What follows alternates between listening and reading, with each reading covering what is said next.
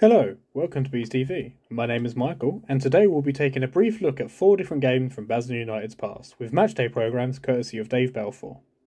Our first edition takes us back to 1981, where on the 28th of February, Basildon United took on Irthlingborough Diamonds at home in the quarter-finals of the FA Vase. In front of almost 1,200 fans, the two teams slugged it out in the mud for 120 minutes, ending in a goalless draw. The Bees would unfortunately go on to lose a replay 6 4, having been 4 2 up in the 96th minute. Our second game takes us to the 17th September 1983, where Basildon took on Leytonstone and Ilford in the first qualifying round of the FA Cup. The Bees reached this stage, having beaten Wootton Blue Cross 2 0 in their replay of the preliminary round. Basildon would get a shock victory over Leytonstone thanks to a goal from Heritage.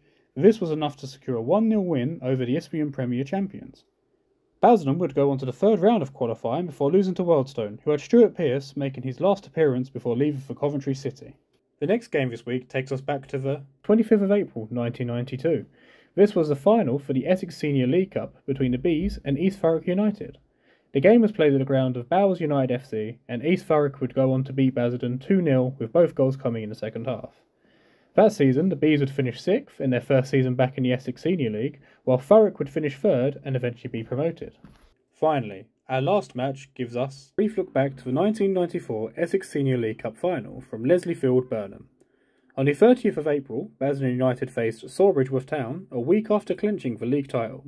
They would go on to achieve a double thanks to a 3 0 victory, thus ending an excellent season under the tutelage of the great Vic Elson.